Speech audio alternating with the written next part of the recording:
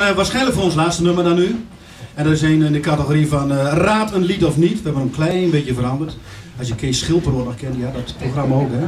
Raad een lied of niet. En als je hem hebt geraden, blijf gelukkig gewoon mee. Kom, je, alright.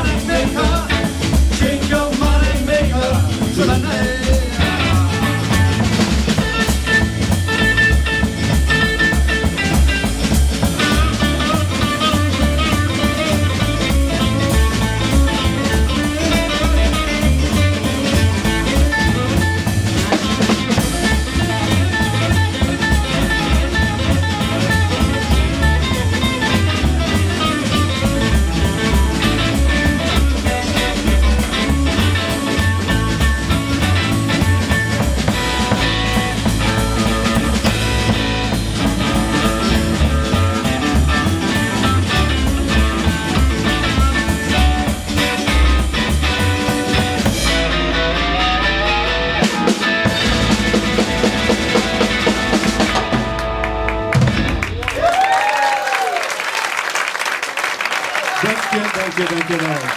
Dank je wel.